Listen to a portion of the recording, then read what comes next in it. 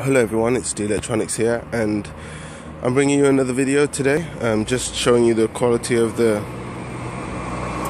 Samsung Galaxy S5 mini camera. I'm not really feeling that great so my voice may sound a little different.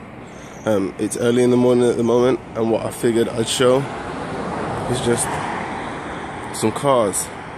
On the left you can see the sun is very bright this morning but what do you think of the colors in this video. So far to me, the quality looks really good.